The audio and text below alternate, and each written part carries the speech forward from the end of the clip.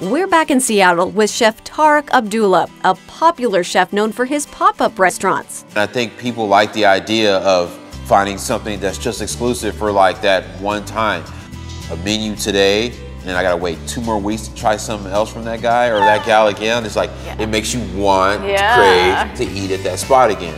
And it's, it's a really good time. I, I love what I do. I get to honestly see people happy and enjoy, and I see a lot of empty plates. So I'm doing something right. While Chef Tarik does a wide variety of pop up restaurants, I was able to check out his Morning Star Brunch. The best way to do Morning Star Brunch, though, is to come with at least six people so that one person orders everything and then you just share around.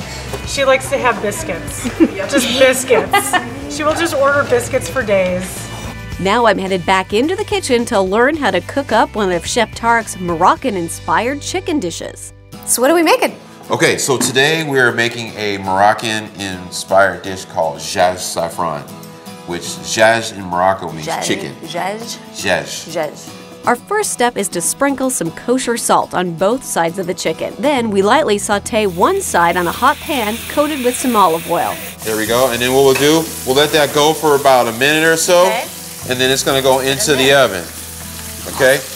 While the chicken cooks in the oven, we start making the couscous by putting some water in a pan. Then we add butter and olive oil. Once the water comes to a boil, we add the couscous. So now we've added our couscous, we stirred it. Yep. We're gonna put it, we're just oh. gonna put a lid on it like so, just cover it. Yeah. And we're gonna let that water, let that liquid absorb. While our couscous absorbs the water, we take our chicken breast out of the oven. Now, we're gonna make our sauce. Okay. So, that chicken, mm-hmm. We're gonna save we're gonna use this pan to make our sauce. Now, one thing, what's one thing you notice I've always had in my hand? this. Yes, because this is, this is, of course that's gonna be hot, and I like the idea of constantly cleaning as I go, but definitely try to keep a hot minute if you're gonna need to talk to my constantly. husband. Okay. Okay. Hey, husband out there, gonna you let you know really quick. You need to have one of these. It's very, very important. Okay. To start the sauce, we pour a cup of chicken stock into the hot pan. Then add some crushed tomato. Once the sauce starts to boil, we finish it with a little saffron and butter.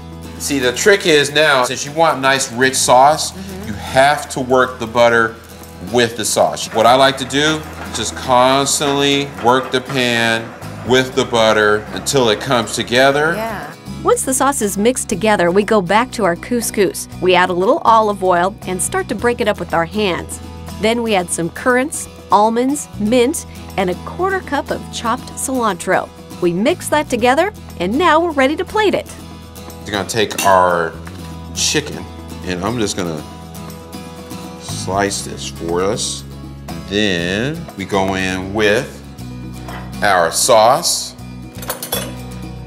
And this is chicken, couscous, and a sauce. So simple, but it, the way you're doing it makes it look really special and fancy.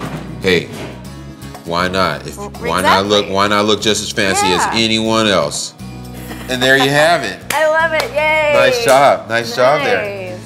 Now it's time to dig in. mm-mm mm, It's so delicious. That was just an ordinary chicken breast into something extraordinary. Mm-hmm. And it was easy. Yeah, totally. Tarik, thanks. Very welcome. It was awesome. Yeah. No problem. That's what we do over here. That's we right. feed the people. Feed the people. Nice. I'm gonna eat, feed me some more. To get the recipe for Chef Tarik's chicken dish with jeweled couscous, head over to wagrown.com.